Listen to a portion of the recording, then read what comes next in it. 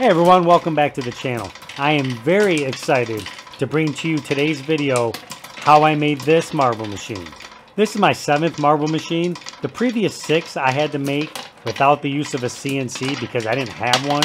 So now that I have one and I'm getting a little bit better with it, I figured why not use my CNC to make a marble machine. If you're interested in making this for yourself, I have a file down below in the description. It will have all the SVG files of all the special pieces that I designed and machined on the CNC. It will also include any sort of dimensions and any special notes that you will need to make this.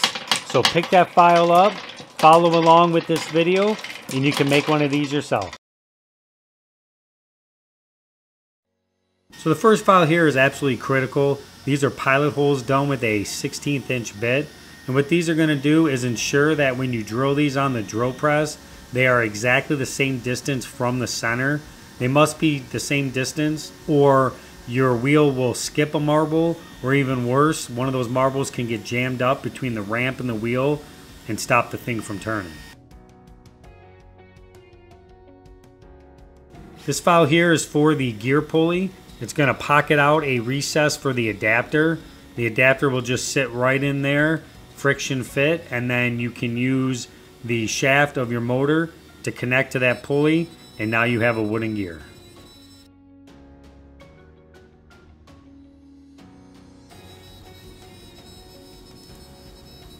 So the CNC now is going to do the hard part, cutting out this large gear. I've done this before in the past, gluing down a paper template to my piece of wood and then taking it over to the bandsaw and cutting out each one of these teeth individually and then sanding them down so that all the teeth mesh exactly correctly. But with the use of the CNC, all that is super easy. So you can just see it cut these teeth here. It's going to walk all the way around, do a full perimeter cut at full depth. And now you will have your Ferris wheel and your driver pulley.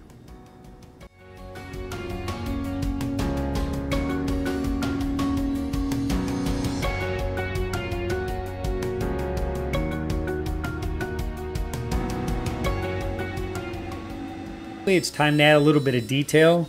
This wheel was looking a little bit plain, so I wanted to add some of these cutouts here.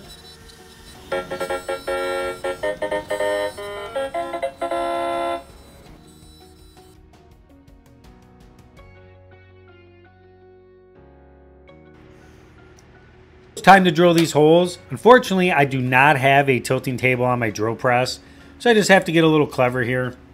I'm going to set this angle finder on there if it doesn't say zero, I will set it to zero.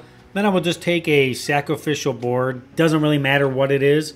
I'll set it on there and then I will take other scrap pieces on this right side, set them under there, and just move them back and forth. Make sure I get seven degrees. Seven degrees is the perfect angle. The marbles will want to fall in there very easily, and as this wheel spins to the top, they're going to want to fall out. After a little adjustment, get it just right, seven degrees, and lock it down. In order to get this wheel set just right, bring down your drill press, lock it in place. Make sure your Forstner bit brad point is on one of those pilot holes. Run a screw right down through the center of your wheel and you're ready to go. Doing a quick double check here, making sure my wheel spins freely. The plywood I'm using here is half an inch and the marbles I'm using are 7 sixteenths. So I don't have to drill all the way through my plywood, but pretty close. So set your depth right, get it all set up, and then lock your spindle in place. That way you can't go any deeper. Now as I'm drilling here, I can just spin this on that center point there with that nail. And I know that all my holes will be exactly the same distance from the center point, which is exactly what we want.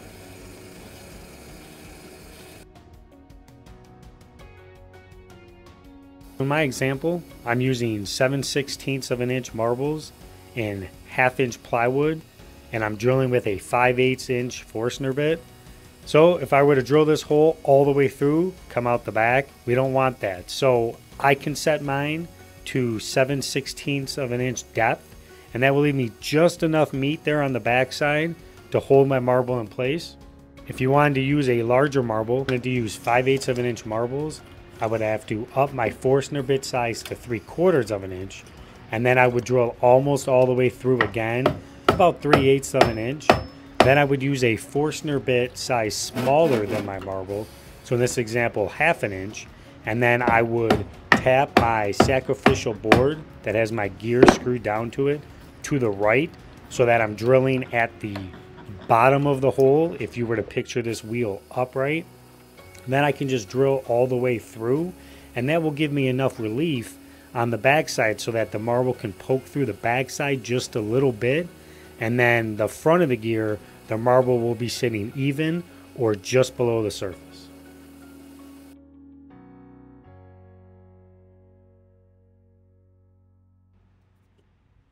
These boards here are going to be assembled together with some wood glue and some screws. And then this will be my upright for my wheels. I like having them on the same upright. That way if I ever need to move anything, this entire lifter will be one solid piece.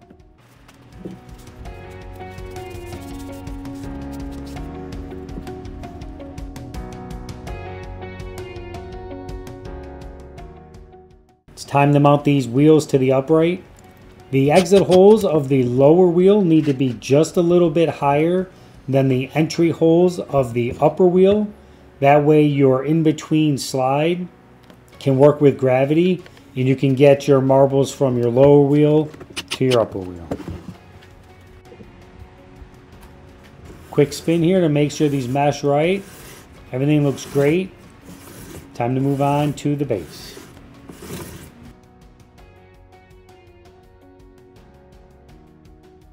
The base is very simple. It's just a small piece of plywood.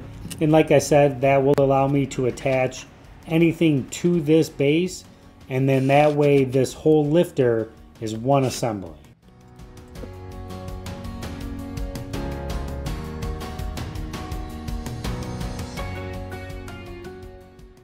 Okay, it's time for a test here. I'll put a marble in the bottom and I'll slowly spin this up. I want it to fall out at about, I'd say the halfway point between halfway and three quarters, and that way we know the marble will fall out when it gets to the top. Perfect.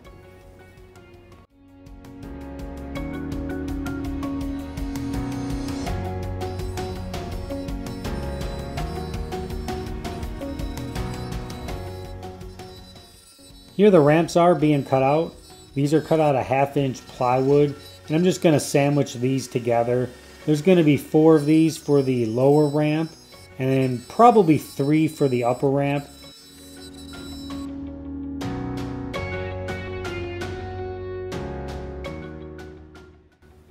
So I just have to sandwich these together. I'm just going to use some CA glue with some activator. That will make short work of this ramp. It's not really structural. It doesn't have to be all that strong.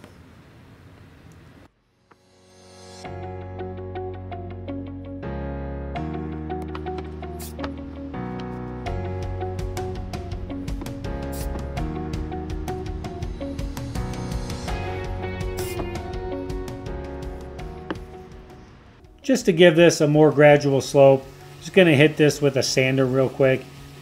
Don't have to go crazy, but you can see that makes a pretty good difference there. This ramp is low by design. What I like to do is mount this to a separate board and then I can lift that board up just a little bit and that'll give it even more of a slope back to the wheel and then those marbles will have no choice but to fall right in there.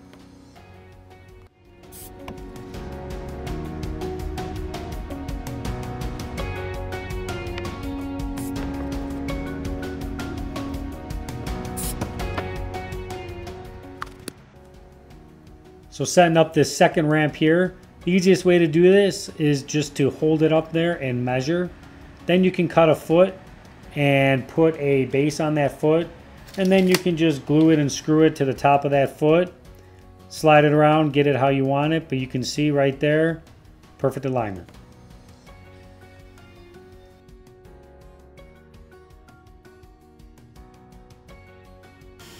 So the CNC is cutting out this in-between slide. This is going to go from the exit holes of the lower wheel to the entry holes of the upper wheel.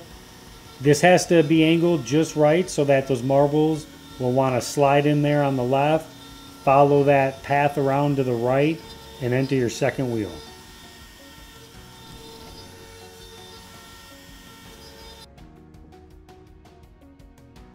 So the easiest way I found to get this angle just right is glue a small block of wood to the bottom of it, drill a hole right down the center so you can put a screw there, and then you can pivot this up and down and get the angle exactly right, and now you've got the perfect angle.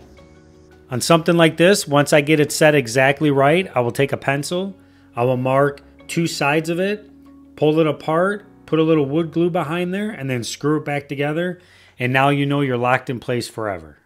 On some of these features where CA glue is the only thing holding it together, I like to take a small block of wood, add some wood glue to the back and the top surface of that. That way I have two points of contact.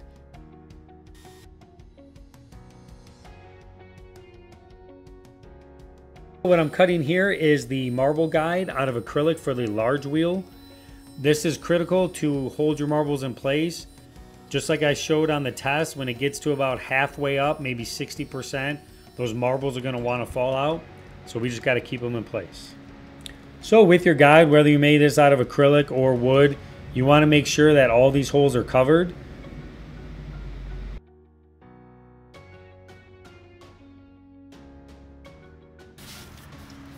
There's that adapter I was talking about. You can just press fit that. I'll probably end up taking a clamp here and just adding a little bit more force just to make sure that's in there all the way. But Pretty simple process here. Clamp that down and now you've got yourself a wooden gear that you hook right up to that motor. Can use that to mesh with your teeth of your large wheel.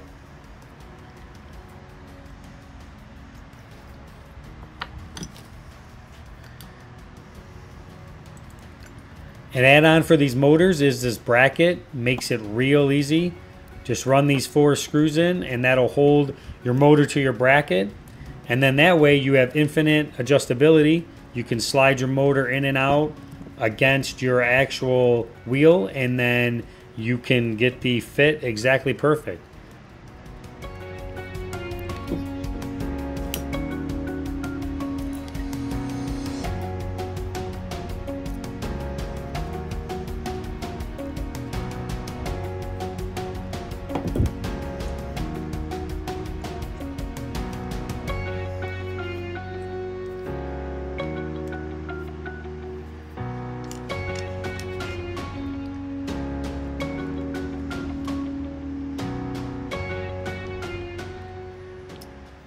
So I'll put a little bit of power to this and see this wheel spin.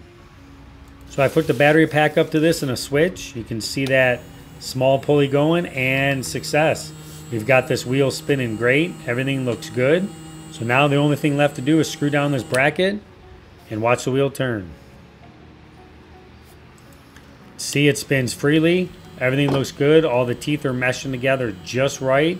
Very smooth operation.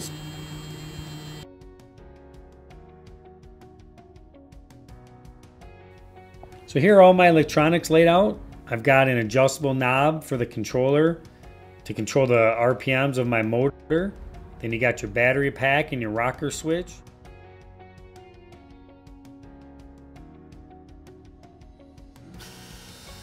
I wanted to make this marble machine stand out a little bit. So I had one of these extra 12 volt Milwaukee battery packs. And I figured I would try to incorporate that into the front of this machine. So I created a couple of files one of them is for the bracket that's going to actually hold the adapter into the base of your marble machine.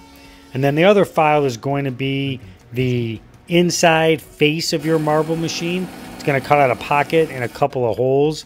The pocket's going to be for the battery so you can plug it in from the front. And then the two holes will be for your control knob and your toggle switch. So I just took this adapter, I cut down far enough to get rid of those locking pieces on the side. So that way I can just slide my battery in and out from the front. So you just have to get your alignment right, put your bottom bracket down there. I just used some CA glue to hold it in place and then when it dried, I ran a couple screws in through the bottom. And then just take your top bracket, get some screws that are long enough, screw them down, and you're ready to go. If you take a look at this here, I ended up putting these guides in here. These are just acrylic. That might be why they're kind of hard to see. I think you can pick them up. I've got my in-between slide over here, my couple of ramps here. I've got my foot here so that my ramp is, is perfect on there. Got my motor installed down there with my adapter and my gear pulley. So I am ready to go.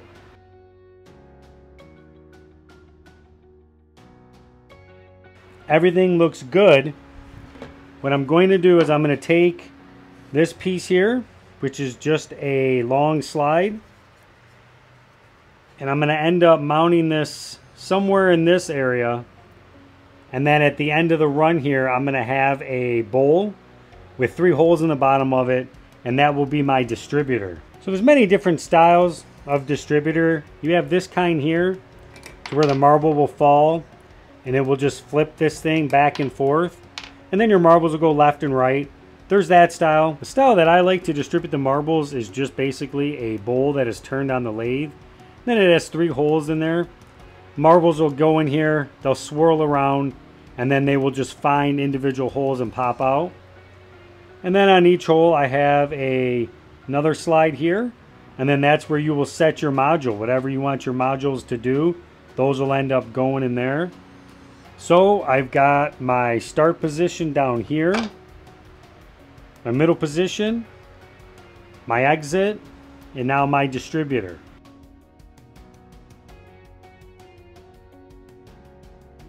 So if you guys notice, I put a surround around this base over here and I actually made that base a little bit bigger. Wanted to be able to set a couple of different modules on here so I can have this thing shooting marbles all over the place. This around is just four and a half inches tall. Just some beetle kill pine that I had laying around the shop. And this will help me get my marbles back to my ramp. So there's basically two different ways to get the marbles back to the starting position. You can either have slides that are all cut like this and all of these will end up angling back towards your ramp and that will get all your marbles back there or you can build a floor in here and that will tilt toward the middle and toward your ramp so that anything that happens on this surface it will drive right into your ramp. That's the style I'm gonna end up going with with this one here. The easiest way to do these floors here is you put a couple of braces in here. This one's about half an inch higher than that one, quarter inch higher than this one here in the middle. And then when you put your board on here, it will want to pitch in towards your starting point. You can add little feet like this right in the middle. That'll help hold both pieces together there so they come together real nice down the center. So I've got both my floors in here. These are just separate pieces that can come out individually. And then you don't want any of the marbles to go back there with the mechanics down here with the motor. So you can just put a couple of rails here. Those are all going to vary based on your machine and how you do it. So now basically anywhere you drop these marbles, they're going to want to fall into the middle there. And that's exactly what you want. So now no matter where your modules are, they will all go right down to the start position, go back up to the top. So I've added these PVC pipes here temporarily. You can see there's notches cut out for them. So now any of the marbles that go down these slides will just fall straight down, exit out of these tubes and go back to the middle. I didn't want them flying all over the shop. I'm going to dump some marbles in here, turn this thing on, and keep my fingers crossed.